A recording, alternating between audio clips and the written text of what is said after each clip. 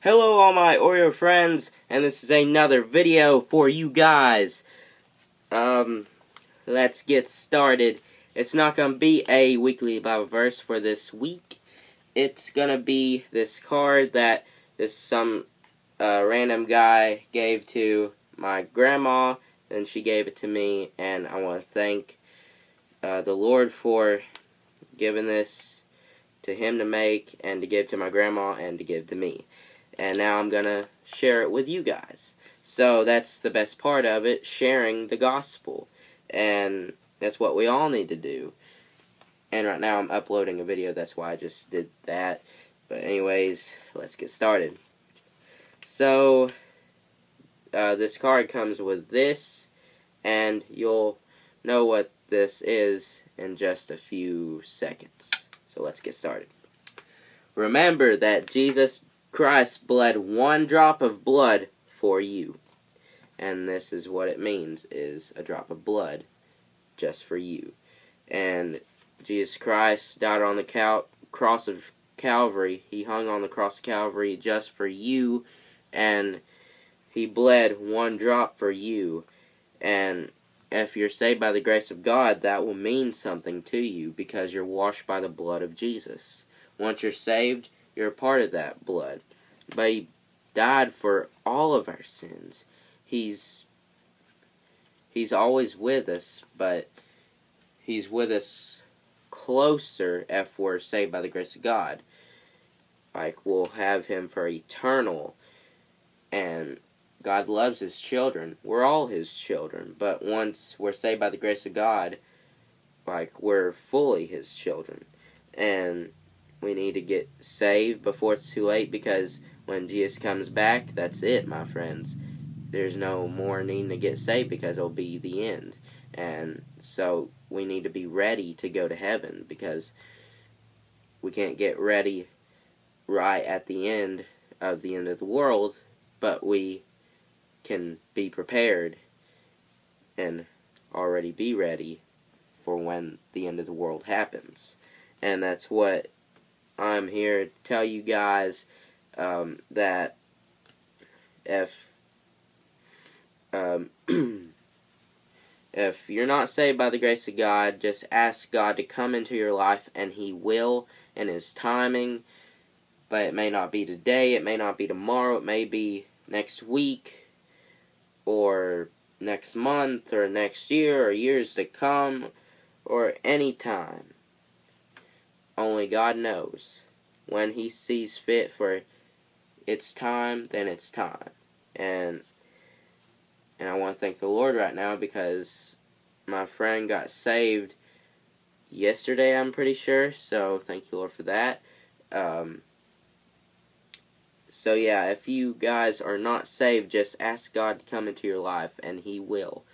And He'll either knock on your heart and or he'll talk to you in a small voice like he did me, like get saved, get saved, or something like that, then you need to accept him because if you don't accept him now, you may not get another chance because this could be your first and last chance, or it may be your first and some other chances, but I wouldn't take that risk. I'd just accept him right then and now, and that's what I did, and it's the best gift and the best gift is salvation, and that's all we need.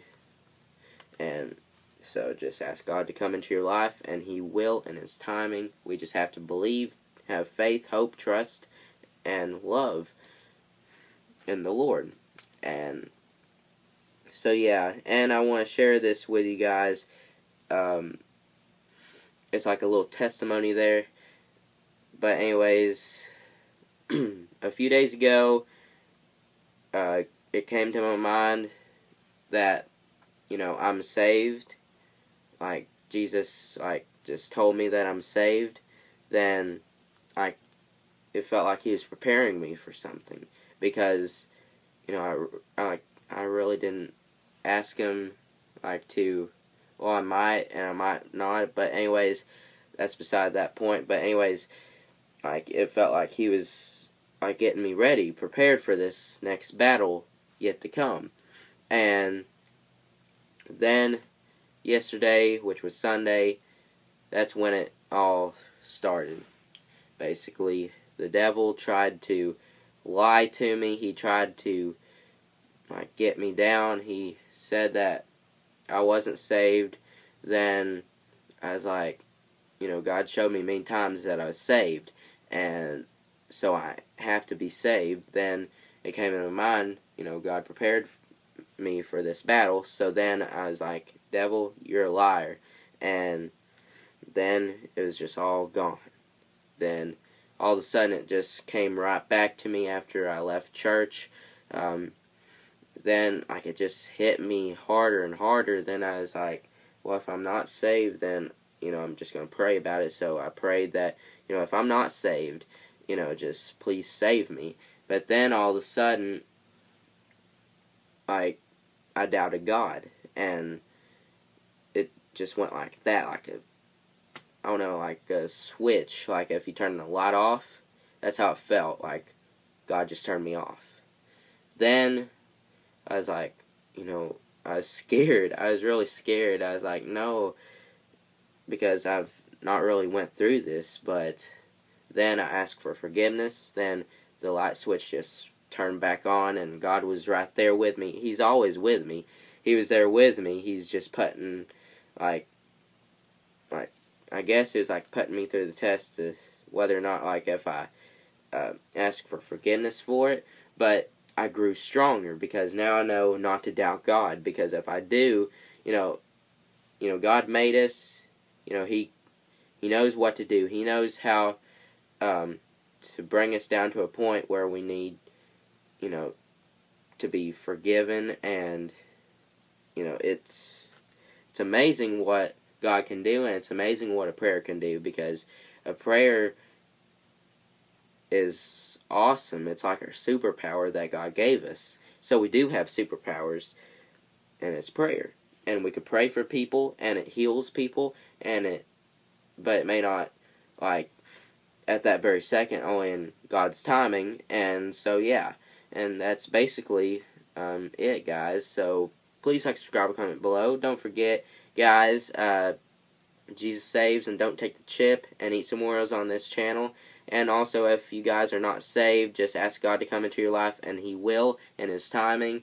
And just pray for the lost, pray for the sick, pray for me because I'm starting to get like a allergies or head cold or something like that. So remember that, guys.